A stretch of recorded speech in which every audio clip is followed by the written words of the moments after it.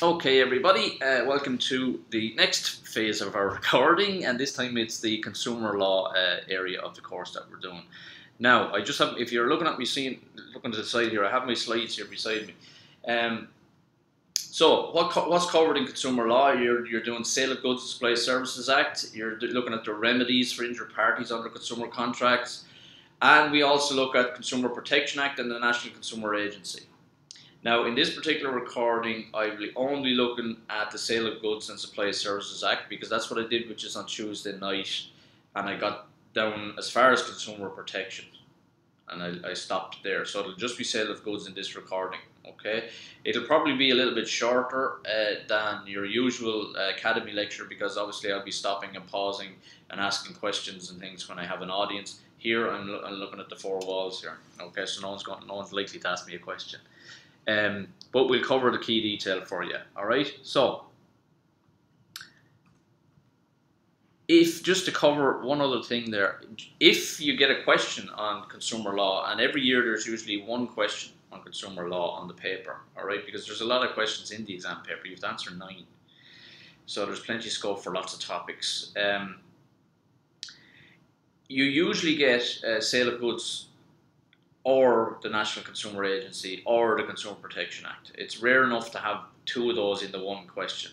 All right, you might get the Consumer Protection Act and the National Consumer Agency as Part B or something like that.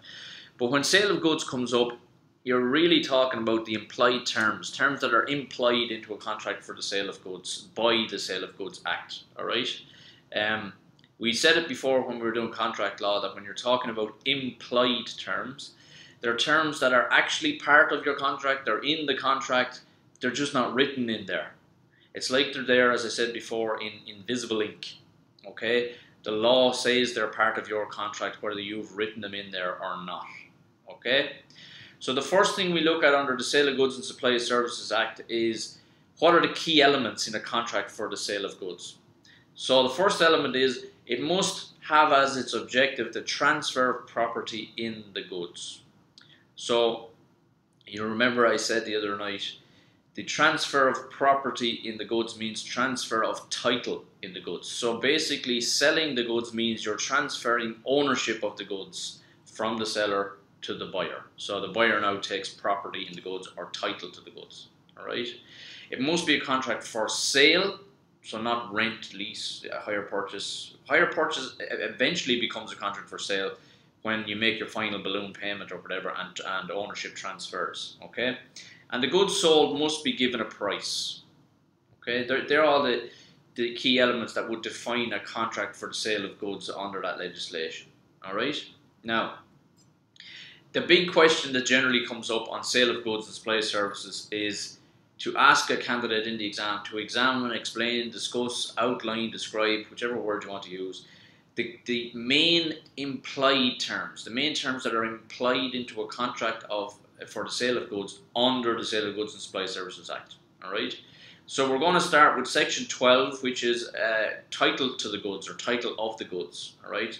So we're basically the provision of section 12 is to say that the seller of the goods, it's implied by the law that they have the right to sell the goods. Okay, so maybe they have ownership or they're a licensed uh, dealer for the particular goods or whatever. Okay, um, there's a case in your book, Rowland versus Duval, um, which involved the sale of a car. All right, um, now if you're selling a car to somebody, obviously you should have title to the car. You should own the car or have the title to the car so that you're entitled to transfer ownership to somebody else. And what happened in Rowland versus Duval, they didn't have the title to the goods. They sold a car to somebody that they didn't own in the first place. Right? So if you don't own a car, you're not entitled to sell it to somebody. If you if you were, we'd all have great fun. We'd just go out on the street there and find a nice looking car and, and find a passerby and say, "Here, I'll sell you that for fifty quid." All right. So you can't you can't sell something uh, without having title in the goods or property in the goods. All right. So that's what happened in Rowland Duval. It was a car was sold that didn't the, the seller didn't have ownership. Now you might say, where does that happen? Okay, stolen goods is an obvious one. But sometimes it could happen under a hire purchase or a lease agreement where somebody has leased a car or hired a car, hire purchase agreement, okay? So they're driving around the car, they have possession of the car, but they don't have property, title to the car. So it might look, for all intents and purposes, that they're they own the car. So it appears that way to a buyer, but it's not actually factually correct. Okay, so they're not entitled to sell the car. And um, that was section 12, okay, an implied term regarding title of the goods.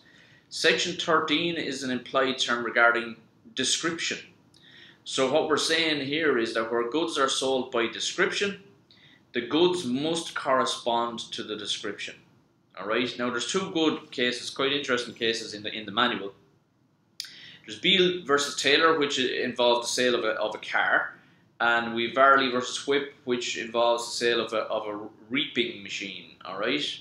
You'll see on the slides, I have a few photos on the slides to help you remember, okay? But what happened in Beale versus Taylor, they were selling a car that they had described as being a 1961 version of a car, or a 67, I think it was a 61, the case of 67. Um, and it turned out afterwards that the car wasn't actually 1961, there was only half of it was 1961. The car was actually made up of two cars that had been chopped and welded together to make up the full car, alright? So the description was incorrect. Therefore, the buyer has recourse uh, in term, and we'll talk about the remedies that you can in in a, in a few moments. All right. Um, but we all know where that there, lots of goods are sold by description. Nearly every good is sold by description because you'll have uh, labels on products and descriptions that way. But you may have photographs. Um, for example, catalog shopping, Argos, places like that would have a photograph of a product and maybe then a few little uh, words describing the key characteristics of it. But the main thing is that the goods as bought must match the description that was given. All right.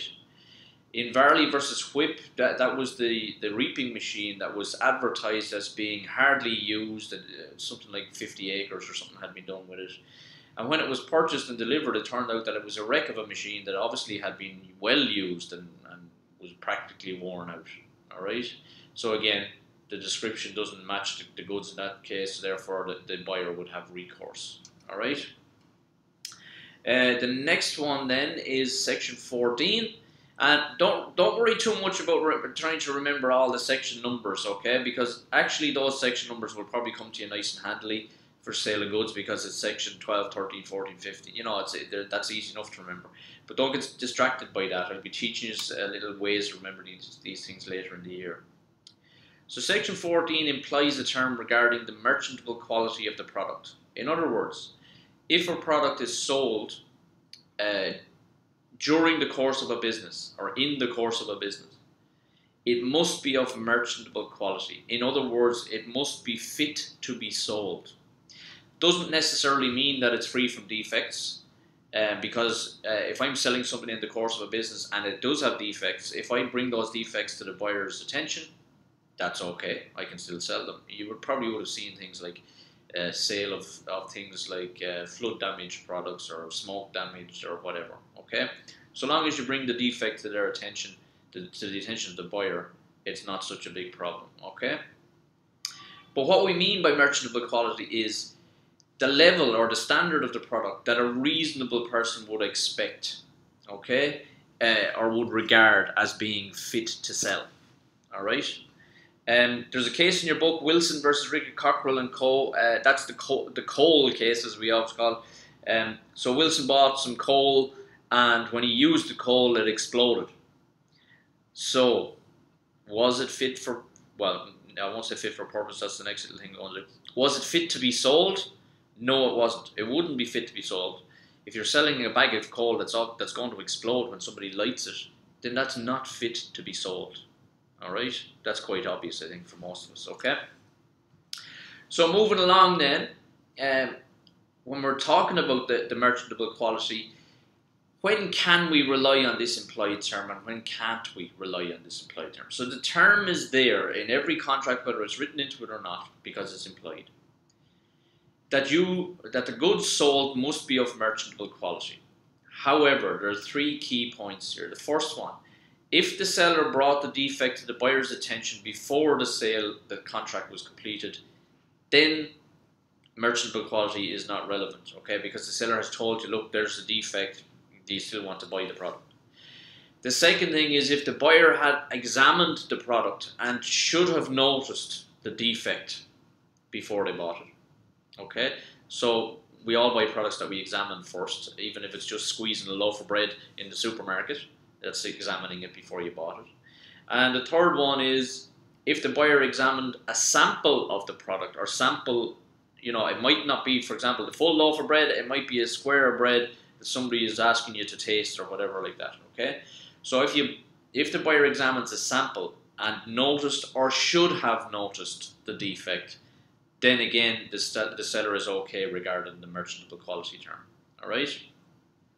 Uh, the case is kind of a, well, it's a little bit funny, I suppose. The Grant versus Australian Knitting Mills case is where a gentleman bought some uh, uh, woolen underwear and there were some chemicals in the material still from the production process. Probably should have been cleared out of it, washed out of it, or whatever, but hadn't been. So when he wore the item, he developed a skin rash. Okay? Now, you might say, was the defect brought to his attention? No, it wasn't. Uh, could he have examined the product before he bought it? Yes. But would it have been obvious that there were chemicals still in the, the textile? Maybe not. Okay, so if it wasn't that obvious, he has a case against the seller. All right.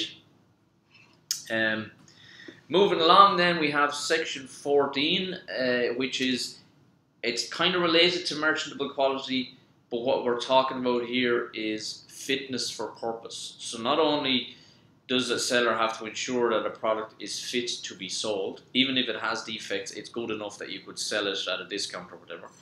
But you must also ensure that where the buyer asks you or, or notifies you uh, about the what the purpose they, they wish the product to fulfill. So if a buyer asks you for a product to fulfill a particular purpose, you as the seller must ensure that the product you sell them is fit for that purpose. Okay?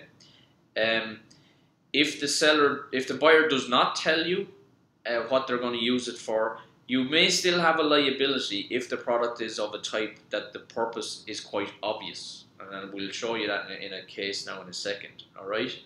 But the seller can avoid the liability regarding fitness for purpose if they can prove that the buyer had uh, sufficient knowledge that they wouldn't, as buyer, have had to rely on the seller's expertise or knowledge. Okay, so for example, if you go to into a pharmacy and you ask the pharmacist for something to brush your teeth with, um, and they sell you a, a sweeping brush, it's quite obvious that's not fit for the purpose. You don't need to be a dentist to know that that's not fit for that particular purpose. All right. Uh, so you'll have a case against them in a way, but well, you would if you were a complete plonker who didn't realize that the sweeping brush was not going to be used uh, or not going to be usable for brushing your teeth. Okay. However, if you went into a pharmacy looking for a medicinal product let's say for a, a, cough, a tickly cough, a sore throat, a headache, an eye infection, whatever it is, um, you might not necessarily know what the different medicines would, would be available for or appropriate to. So you're relying on their knowledge. So they'll advise you, oh yeah, I think you should buy this particular medicine or whatever. If it turns out later that that medicine was just not ever uh, fit for the particular purpose, um, well then uh, you have a case against that pharmacist for selling you a product that was not fit for the purpose that you indicated. All right. There's there's a few cases in your book, uh, interesting cases. There's Baldry versus Marshall uh, was a case where a guy wanted a car. He requested a car that would be suitable for touring purposes. So he's going to be driving a long distance or whatever. And he was provided with a sports car, which in actual fact was quite uh, probably unsuitable for touring. Uh, sports cars tend to be flash and speedy and all the rest of it, but they lack a little bit on the comfort area because they tend to be sitting lower on the road, so you feel every little bump on the road and that kind of stuff. All right. So having indicated what he wanted the car for, to not for the, the seller not to fulfill that, then that's a breach of the fitness for purpose implied term. In the case of Priest versus Last, you had an individual who purchased a hot water bottle. Uh, so, what's interesting about this case is they didn't indicate to the seller what they wanted to use the hot water bottle for. So they purchased a hot water bottle. It later turned out that when it was full of, of uh, hot water, it burst and scalded the person or whatever. Okay, so they sued for breach of the, the implied term under Section 14 that the product be fit for its purpose. Now, the defence claimed in that case was that the buyer did not indicate to the seller the purpose for which they wanted the product. However, in that particular case, the court was happy to say it's obvious if you're buying a hot water bottle, it's obvious what the purpose is going to be for that. You're not going to use it to, I don't know, to grow vegetables or something. You're, you know, um, it's quite obvious what a hot water bottle. It has really only one major function, and that's it. Okay, so the, the, the buyer was successful in that case, even though they had not indicated to the seller what the purpose was, okay, that they wanted the product. Another case there is Griffiths versus Peter Conway, and that's again a tweed product that caused a rash. So, like the previous case there uh, of the, of Grant versus the Australian uh, knitting mill, in this case, it's the same type of thing. A product, there's something with the product that has caused a rash. Um, in that in in the Grant case, the guy uh, won his case by showing that the product was not of merchantable quality, wasn't fit for its purpose because it had chemicals etc. in it that should have been cleaned out of it.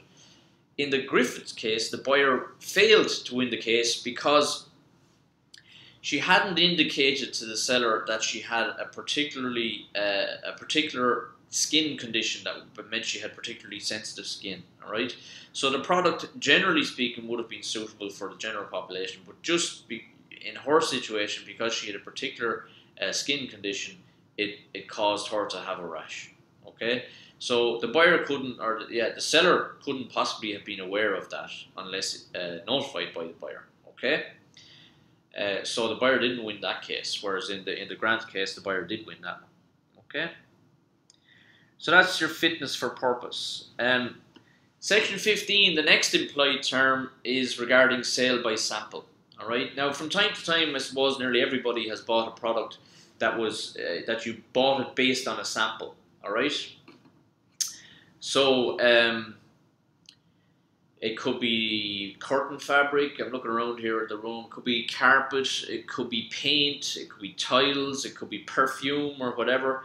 Um, food, uh, you go to the supermarket, there's usually a fine looking lady all dolled up with her tray of whatever it is, sausages, cheeses, whatever, and you, you try on, you try, try on, you try, you try the food and see if it's nice, and because you like it, then you go and buy the, the product itself. Okay, so there's lots of things we can buy via sampling. Um, even buying a car, if you take it for a test drive, that's almost sampling the product, and therefore you, you may purchase based on.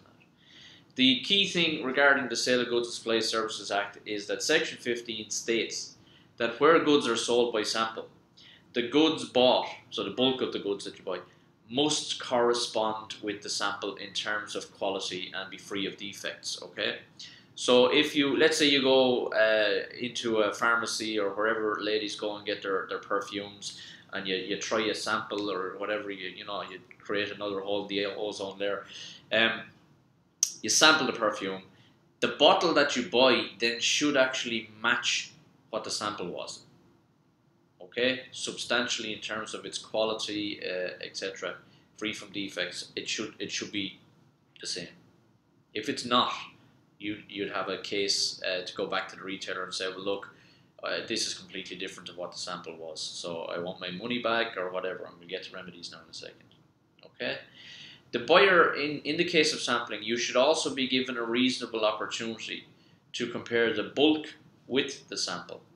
So if, let's say, for example, you were building a house and, and you you wanted to buy floor tiles or something like that, and you've you've had a look at a few different types of floor tiles, um, you should then get a chance to compare when you do buy whatever it is, 100 tiles or whatever you want for a particular room, you should have a chance, you should be afforded the opportunity to compare the sample that you had looked at with the bulk of them that you purchased for your product or for your building uh, project. Okay.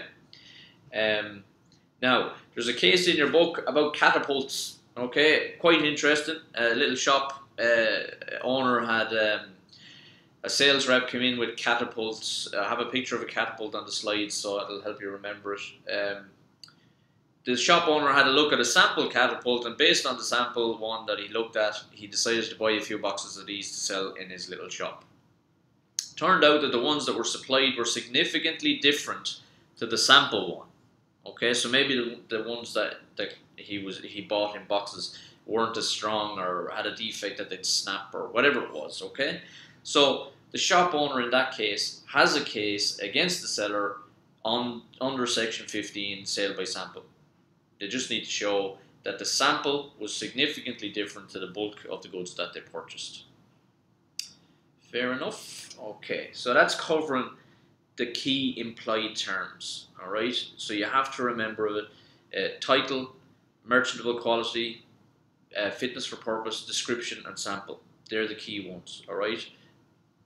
In an exam situation, if that question comes up, not only do you need to remember title, description, all that kind of stuff, you should you should have at least one case memorized that you can use as an example under each of those headings. Because in your answer, it's not enough to just write about fitness for purpose, uh, merchantable quality, description type. You need to give an illustrative example to back it up to say this. You know, I understand the law, and this shows that I understand. I, I know how it works. All right, that applies to every question you'll do in your law exam. Now, moving swiftly along, then we're on to um, supply of services. So I would have mentioned to you before, the original act was uh, just the Sale of Goods Act. All right, it was updated in 1980 to become the Sale of Goods and Supply of Services Act because services had become a, a more uh, common type of business. All right.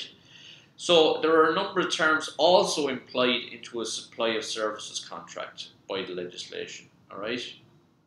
Uh, I use the example of a dentist in the lecture slides just so you can walk through it if you like and go through each particular term and apply it to just one particular service, in this case a, a dentist. Alright? So I'll go through them one by one.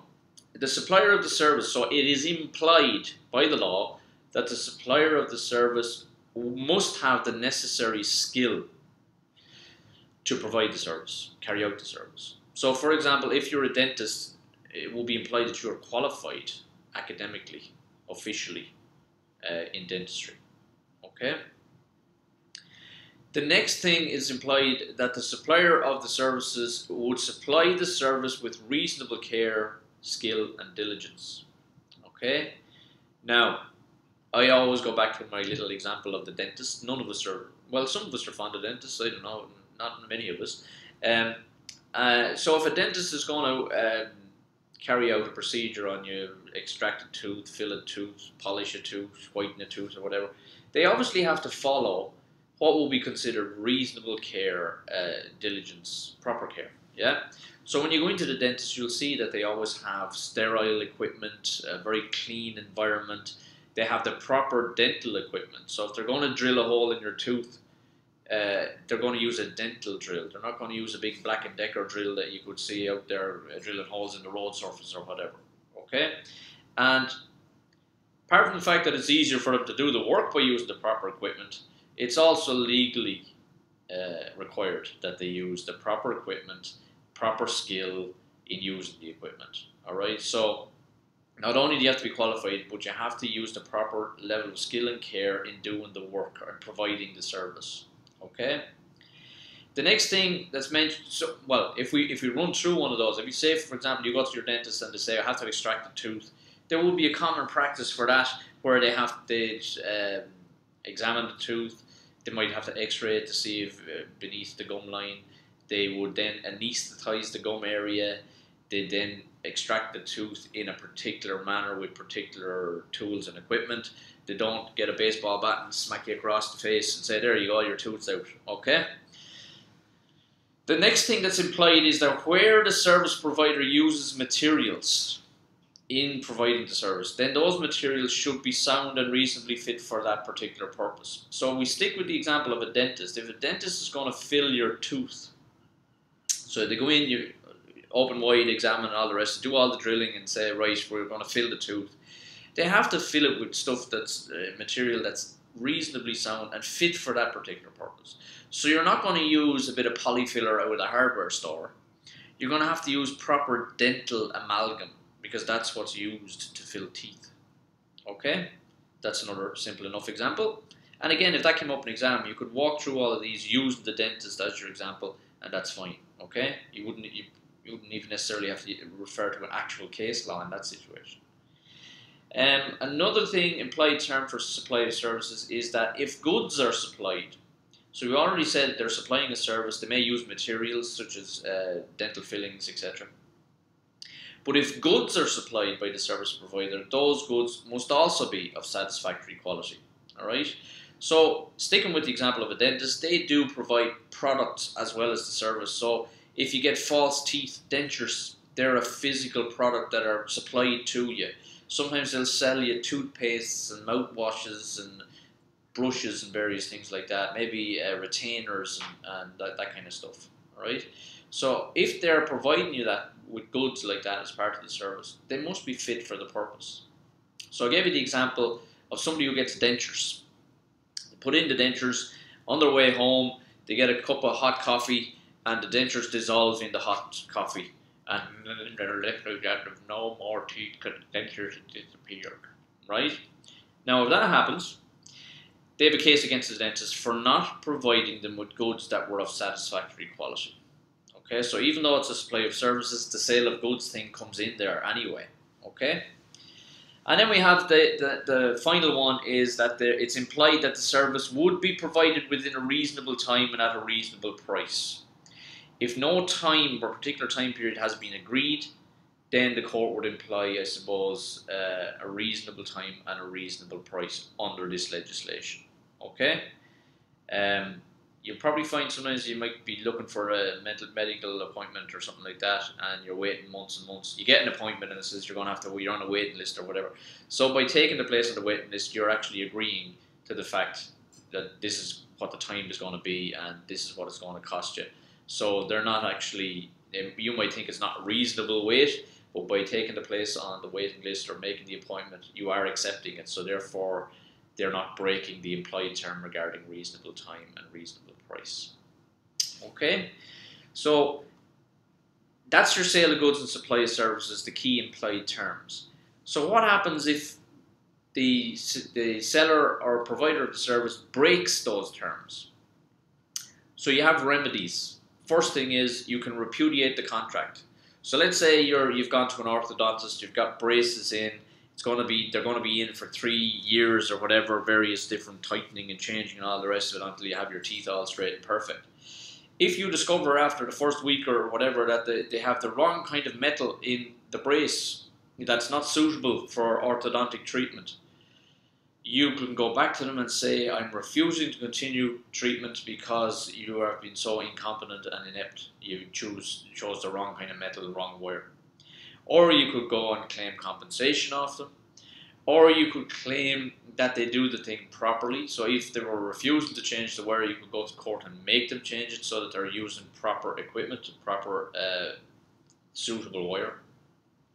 Or you could just ask for your money back and end story there and then. Okay. Course, you could you could argue with them, or you could do a deal with them and say, "Listen, I'll continue with you, but you're going to have to give me a bit of a discount." Okay. You could do that. All right. Now, with regard with regard to sale of goods and supply services, any attempt to exclude any terms that are implied are prohibited. You can't do that. So if I'm selling goods and I say to you, by the way, I'm going to exclude terms uh, 12, 13, 14, and 15 from the Act in our contract, that's not allowed. Okay. One thing that is interesting is if you go to the dentist and you're getting a filling done or whatever, obviously they, we've said before they have to take proper uh, due care and all that. Um, that may include not giving you an anesthetic, okay? Because some procedures, even though they would usually involve an anesthetic, some types of fillings you can get that you don't you don't need an anesthetic. It's so minor, or the tooth is already uh, dead nerve-wise, so you're not going to feel any pain anyway. So you might yourself choose. You might say to the dentist, listen, don't bother with the anesthetic because it's only a small filling. So what's the dentist going to do then?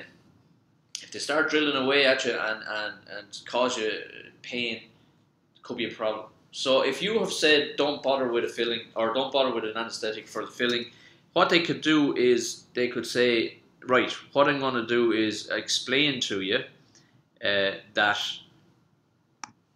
explain to you that the um, sorry something's popped up on screen here in front of me. I just want to get rid of it. Okay, so you go to the dentist, they're looking at a filling, and they're saying it's a small filling, and you say, well, don't bother with the anaesthetic. So they'd explain to you, yes, there might be a risk of, of pain here, or there might not be a risk. As long as it's properly explained and you agree it, that's fine. Okay? Um, most of us, I don't think, would agree to have a filling done without an anaesthetic, but I have heard of people having teeth extracted without an anaesthetic. Um, so that's your sale of goods and supply of services. A number of key terms. What I'd advise you to do in, in studying it is write out on even just one page the key headings, uh, title, description, uh, merchantable quality, fitness for purpose, sale by sample, right? Just the headings. Then a name of a case under each heading and maybe a picture to help you remember the case. And that's the beginnings of what we call a memory map, okay? Uh, because you need good structure on an answer like that to get a good mark. Okay, um, and it's a nice one. If it comes up, it's a nice one to get a good mark on. All right, so we leave it there. Uh, when I see you on Tuesday in the academy, we're going to start again on the next section of consumer law. Will be the Consumer Protection Act. All right, so apologies for the, the problem with the microphone on Tuesday night. All my fault. Didn't switch off the, the mute button. Um, so see you soon. Thank you.